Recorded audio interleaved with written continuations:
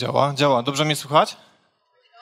E, słońce razi. E, tak, e, cześć, dziękuję za tak miłe wprowadzenie. Fakt, jestem wszechogarniaczem. Zajmuję się kilkoma tematami na co dzień, natomiast dziś przyjechałem do Was, przyszedłem właściwie do Was z jednym bardzo ciekawym tematem. Mianowicie chciałbym zaprosić Was do podróży po takim obszarze komunikacji dość niedocenianym, a w moim odczuciu istotnym w kontekście zmian w komunikacji, które mają miejsce e, w ostatnim e, czasie. Mianowicie mm, temat dotyczy personalizacji treści. E, nie wiem, czy kojarzycie, co to za film. Akurat Jacek Kotarbiński mocno nawiązywał do filmów. Ja też postanowiłem sobie od tego zacząć. Natomiast to jest scena z filmu Raport Mniejszości. Nie wiem, czy, czy kojarzycie ten film? Okej, okay. film y, ma właściwie już może nie okrągłą y, rocznicę, natomiast chyba ma 14 bądź 15 lat i dotyczy w tle takiej dość futurystycznej, przedstawia dość futurystyczną wizję y, przyszłości. To akurat jest bardzo ważna scena, bo główny bohater wchodzi do centrum handlowego. Czytniki biometryczne, czyli czytniki linii papiralnych szczytują jego osobę i on przechadzając się po tym centrum handlowym napotyka na różnego rodzaju reklamy, które są dostosowane do jego potrzeb i preferencji. Tu akurat tam z tyłu idzie sobie Tom Cruise, no i wyświetla się przy nim reklama Lexusa. Teraz pewnie wyświetliłaby się reklama jakiejś grupy scjentologów, natomiast być może być może e, że na potrzeby tego filmu faktycznie jest taka sytuacja, że e, tutaj działa pewien algorytm. E, nie byłoby w tym nic dziwnego, gdyby ta futurystyczna wizja przyszłości nie dotyczyła 2054 e, roku. Czyli mam jeszcze trochę czasu e, do jej spełnienia. Natomiast nie, bo ja na potrzeby tej prezentacji ukułem sobie taki zwrot jak kultura algorytmu. Kultura algorytmu, w której właściwie żyjemy obecnie i to się dzieje i faktycznie algorytmy są odpowiedzialne za przesiedlanie naszych osobowości, za tworzenie, tworzenie konkretnych modeli osobowości. Wszystko po to, żeby z konkretnym komunikatem, z konkretnym przekazem dotrzeć do nas, do użytkowników, a tylko e, z tego względu, że właściwie zostawiamy swoje dane na każdym kroku, więc nie możemy się dziwić, że też nie jesteśmy w jakimś tam obszarze zainteresowania różnych, różnego typu firm, marek, instytucji. E, na pewno pamiętacie e, nie tak dawną aferę, którą wywołała informacja o tym, że Cambridge Analytica wspierała e, Donalda Trumpa w wyborach na urząd prezydenta Stanów Zjednoczonych. To była dość duża afera, która właściwie wskazała na to, jak bardzo algorytm może prześwietlić naszą osobowość. Akurat w tym przypadku sprawa jest dość prosta. Metodę wymyślił Polak, natomiast została użyta przez firmę, która tak na dobrą sprawę miała sprawić, by y, potencjalni wyborcy Donalda Trumpa mu wierzyli. Jak było, ciężko stwierdzić. Natomiast y, w sieci też pojawia się coraz więcej informacji o tym, że przez tak zwaną personalizację jesteśmy zamykani w bańkach informacyjnych. Jak wiecie, medal ma dwie strony, więc to też nie jest tak, że jeżeli ktoś na przykład czerpie wiadomości albo wiedzę z Facebooka, no to co by tu nie mówić, ma problem. Nie? W sensie wiadomo, że jesteśmy istotami myślącymi i właściwie nad każdą informacją powinniśmy się dwa razy zastanowić, zanim jej zawierzymy. Natomiast coś w tym jest, że faktycznie z różnych powodów y, algorytmy mają działać tak, żeby te treści do nas trafiały y, dopasowane do naszych oczekiwań i, i, i potrzeb. Z prostego powodu. Dlaczego ludzie oczekują spersonalizowanych e, komunikatów, doświadczeń? E, przede wszystkim z powodu szumu informacyjnego. I tu akurat sprawa jest prosta, bo treści jest zwyczajnie za dużo. Tutaj już w poprzednich prezentacjach ten motyw się przewijał, natomiast z różnych badań wynika, że Polacy korzystają w 400% procentach z adblocka. E, to dużo. W skali powiedzmy europejskiej, chociażby to jest naprawdę dość wysoki procent. Jeżeli chodzi o drugi element, dotyczy w jakimś tam stopniu pragnienia poczucia kontroli, czyli ludzie lubią mieć takie poczucie, że ktoś coś do nich dopasował. Jeżeli y, zostają zostawieni z takim poczuciem, częściej pochylają się nad tego typu informacjami, uznają je za, za wartościowe, za bezpośrednio związane właśnie y, z daną osobą. I marki też tak myślą.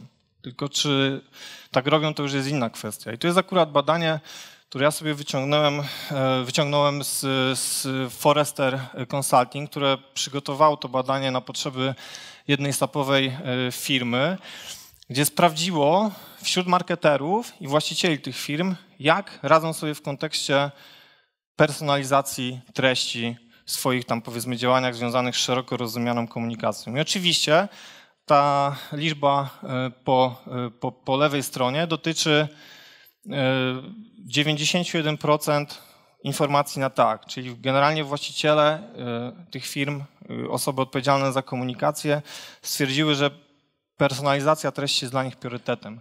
Natomiast ich klienci powiedzieli zupełnie co innego, że nie potrafią tego robić, nie potrafią przejść do poziomu dyskusji, dialogu i właściwie oceniło ich działania y, bardzo kiepsko. Stąd tak na dobrą sprawę tylko 16% ze wskazanych y, firm y, potrafiło sobie z tym tematem poradzić, potrafiło korzystać z dostępnej wiedzy, tylko po to, żeby w odpowiednim czasie dostarczać treści wartościowe, użyteczne z punktu widzenia użytkownika. E, to nie jest slajd, który ja sobie przygotowałem na potrzeby tej prezentacji, nawiązując do tytułu.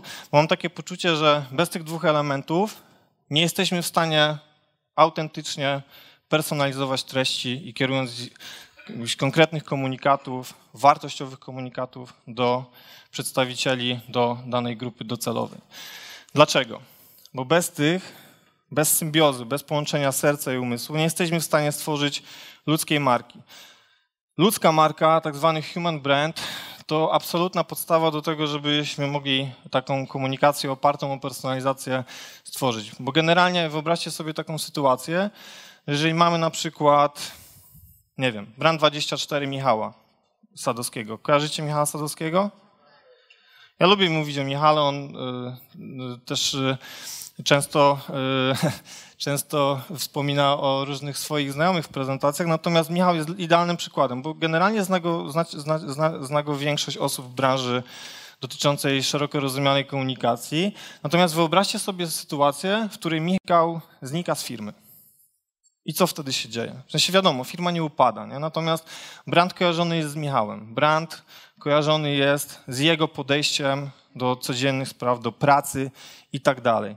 Generalnie przez osobowość Michała powstała w jakiś tam sposób osobowość tej marki. Natomiast gdyby go nie było, osoby, które musiałyby go zastąpić, musiałyby dorównać do poziomu komunikacji Michała, musiałyby wiedzieć, co ta marka czuje, co myśli, jak je, jaka jest naprawdę i tak dalej. Więc generalnie to jest bardzo ważny element, bez którego nie możemy, nie możemy y, przejść y, do personalizacji treści. Y, gromadzenie danych w nawiązaniu jeszcze do Brand24 to jest ważny, ważny element, chociażby pod tym względem, że firmy nie do końca to robią. W sensie nie do końca robią to dobrze. Mam takie poczucie, że dla nich, jak sobie przeglądam na przykład briefy, różnego typu klientów, to ta część schodzi na jakiś tam dalszy plan. W sensie firmy nie, nie do końca wiedzą, kim jest y, ich odbiorca, kim jest y, dany użytkownik, y, kto korzysta z ich produktów i tak dalej. Nie budują tak zwanych person. Nawet chyba dwa razy, tak, dwa razy rzuciłem ten slajd na prezentację. Nie budują person. W sensie nie chodzi o to, żebyśmy w kontekście grupy docelowej wykorzystywali tylko dane demograficzne, czy na przykład mm, bazowali jedynie na opiniach płynących na przykład z monitoringu internetu e, w nawiązaniu do, do Michała i do jego usługi. Natomiast chodzi o to, żebyśmy tworzyli tych modelowych klientów, żebyśmy wiedzieli, kto to konkretnie jest, żebyśmy ich nazwali z imienia i nazwiska, nadali im konkretne cechy, e, wiedzieli, co lubią robić, gdzie lubią bywać. Wszystko po to, żebyśmy mogli lepiej i skuteczniej docierać do miejsc, w których oni się znajdują. I to jest przykład. Miał to być Paweł Tkaczyk, ale że Pawła nie ma, to go wymieniłem na Artura. Natomiast Artur jest przykładem, do którego chcę nawiązać, bo generalnie to też pokazuje jakąś skalę, że mały może więcej, w sensie bardziej mu się chce, jest bardziej zaangażowany, traktuje swoją usługę czy produkt, który na przykład w odniesieniu do szkoleń Artura E, traktuje je jak swoje dziecko. Rośnie z nim, wychowuje go i dba o to, żeby, żeby ten produkt, usługa się rozwijała. I Artur jest takim gościem, który akurat w dużej mierze opiera y, swoją komunikację o personalizacji. Jak widzicie, już na samym początku jest duża część dla osoby, która wchodzi y, na stronę Artura w poszukiwaniu informacji, które mogłyby ich zainteresować. Natomiast to też jest bardzo ważne, bo Artur w tym wszystkim jest bardzo spójny, czyli każdy kanał, a nie ma ich bardzo dużo, wykorzystuje maksymalnie, bardzo precyzyjnie personalizując po prostu e, tworzone treści i komunikaty. Natomiast co się dzieje, jak firma na przykład rośnie, jest duża i zmaga się z zupełnie innymi problemami, jak tylko e, i wyłącznie e, na przykład komunikacja swoich rozwiązań i produktów. Ja nie krytykuję tutaj Herbapolu i to chciałbym zaznaczyć, zanim przejdę do tego case study. Natomiast to jest bardzo ważna rzecz, bo Herbapol za, zastosował, nie wiem czy, czy przypadkiem, czy nie przypadkiem, chyba 7 czy 8 lat temu bardzo fajny zabieg, dodając proste rozwiązanie personalizujące do swoich produktów. Nie wiem, czy korzystacie, pijecie herbatki z herbapolu, czy tylko, czy to okej. Okay. No ale jeżeli, jeżeli zaczniecie, to na pewno natraficie na tego typu liścik. On jest piękny. On sprawił, że ja zacząłem się tym herba, herbapolem autentycznie interesować. W sensie mnie to zainteresowało. Ja chciałem się dowiedzieć, kim jest Grażyna. Naprawdę. I co zrobiłem? Zacząłem od, po prostu od poszukiwań w internecie i wierzcie mi, że internet jest naprawdę wypełniony wieloma chę, jakby chęciami po prostu nawiązania kontaktu, czy to z Grażyną, czy z Krystyną, czy z Adamem i ktokolwiek by nie pakował tych herbatek, ludzie ch chcą autentycznie doświadczać po prostu i poznawać tą markę z tymi osobami. To, to jest hit, a marka tego zupełnie nie wykorzystała. I tutaj wiadomo, powinna odpowiedzieć. Nawet pan Pomidor mógłby dostać konkretną odpowiedź na, konkretne, na konkretny zarzut, który postawił, na przykład. Tego jest więcej. Natomiast jak zacząłem sobie przeglądać podstawowe kanały komunikacji, no to jest taki troszeczkę, wiecie, yy, Cupcake Communication, tak to się nazywa. To pojęcie ukuł Richard Huntington z londyńskiego oddziału Saatchi Saatchi, gdzie w kontekście personalizacji komunikacji ujął to bardzo fajnie. Jakby to jest treść, która nie, nie, nie jest taka super wartościowa. W sensie ona będzie się w danym momencie sprawdzać, ale myśląc długofalowo, to do niczego nie prowadzi. To nie prowadzi do żadnej interakcji z marką. Niczego nie mówi o tej marce. To jest komunikacja w stylu my lubimy y, cytrynowe babeczki, a jakie wy lubicie y, babeczki? Y, czy jaką ty lubisz babeczkę? Natomiast wracając do Herbopolu, ja znalazłem Krystynę. Na ich stronie, w, Grażynę tutaj, przepraszam. Tu jest Krystyna, widzicie. Super. Natomiast ja ją znalazłem, tak? Tą Krystynę. I, I, ona jest tutaj y, w jej ręce właściwie, pakujące to, tą herbatkę. Y, natomiast tam nic nie ma. Nie mogę w to kliknąć, nie mogę z nią porozmawiać, nic nie mogę. No po prostu. A po tym a po tym, naprawdę, bo ten slajd, slajd wyciąłem, bo, bo stwierdziłem, że jak mam 20 minut, to faktycznie nie, nie, nie powiem wszystkiego. Natomiast tu jest bardzo ważna rzecz. Osoba, blogerka, na, autentycznie napisała list do Krystyny, bo otworzyła herbatkę, a tam był Adam. I ona nie chciała tej herbatki od Adama. Chciała herbatki od Krystyny. I o tym napisała.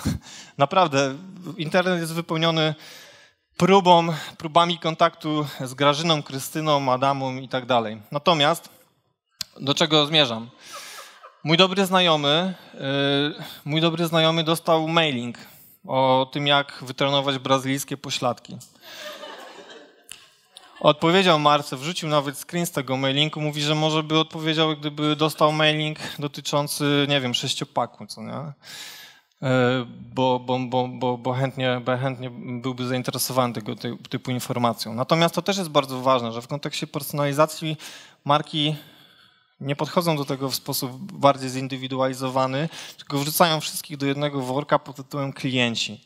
I tak oto Piotr dostał mailing, który powinien na dobrą sprawę być jakby skierowany do, do kobiety, która interesuje się albo chce się zainteresować fitnessem, bo na przykład chodzi odwiedza strony producentów sprzętu sportowego y, i, i, zastanawia się po prostu nad konkretnym rozwiązaniem. Natomiast Piotr odpowiedział, ja pamiętam, że, że tam się faktycznie jakaś dyskusja później y, nawiązała i, i, i marka z tego wybrnęła, o dziwo, więc tu akurat Piotr jej nie skreślił y, w tym kontekście. Natomiast, no przepraszam za ucięty slajd, natomiast chodzi o to, żeby tą treść różnicować. I to jest bardzo trudne, bo jeżeli mówimy o personalizacji, to musimy mieć na równi zróżnicowanie treści. Bez tego ani rusz. W sensie jakikolwiek kanał jest tylko narzędziem do tego, żebyśmy mogli tą komunikację prowadzić. Natomiast nie możemy po prostu tworzyć jednolitych komunikatów i wrzucać ich najgorzej do jednego worka, który jest zatytułowany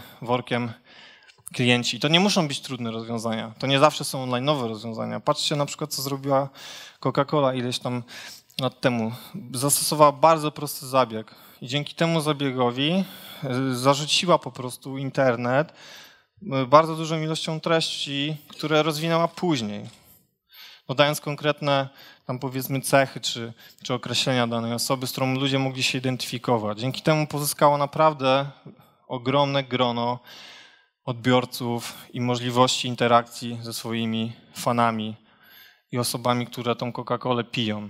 Natomiast biorąc pod uwagę to, jaka ta marka jest, ona zawsze mówi od początku, że jest marką, która chce dawać szczęście i do tego dąży w swoich komunikatach. Natomiast w kontekście personalizacji zawsze jest tak, że mówimy o relacjach i to jest najważniejszy element. W sensie nie ma... To jest właściwie definicja personalizacji, tak na dobrą sprawę.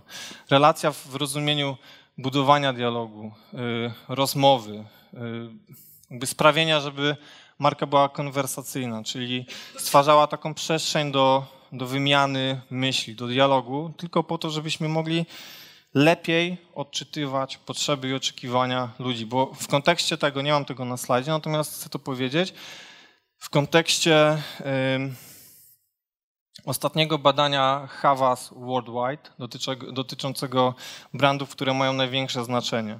Okazuje się, że tak na dobrą sprawę 74% marek istniejących w szeroko rozumianym rynku usług i produktów mogłoby nie istnieć. W sensie wchodzimy do Biedronki, i nagle się okazuje, że nie ma tam produktu, który nas interesuje, który wybieramy regularnie, to gdyby pojawił się zamiennik z tą samą etykietą, z tym samym składem, po przeczytaniu my go weźmiemy, spróbujemy. Ale czy to oznacza, co to oznacza? Że ok, produkt się sprzedał. Natomiast w kontekście budowania więzi y, i tej interakcji, dialogu, udoskonalania pewnych rozwiązań, tak naprawdę tej informacji nie mamy. Od tego służy zupełnie inny obszar działalności. Przepraszam, czy ja kończę? Już nie. Jeszcze nie, tak? A już mówiłem 20 minut? Jajku.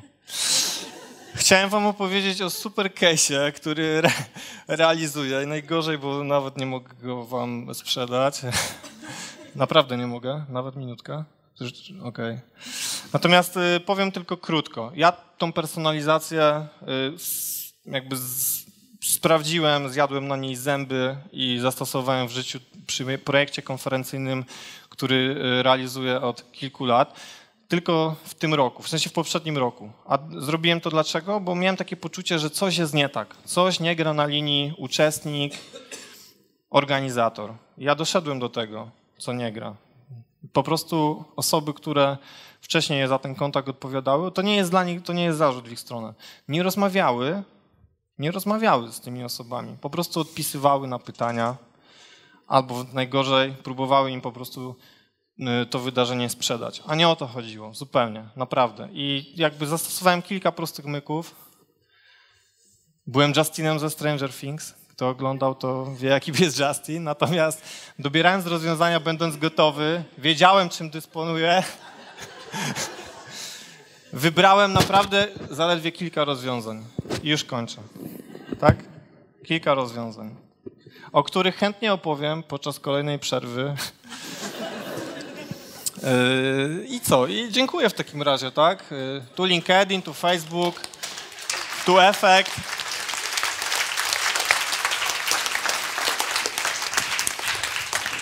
I z tym chciałbym was zostawić. Pamiętajcie, że personalizacja to jest absolutna konieczność obecnie. To nie jest remedium na, na problemy związane z komunikacją, ale absolutna konieczność.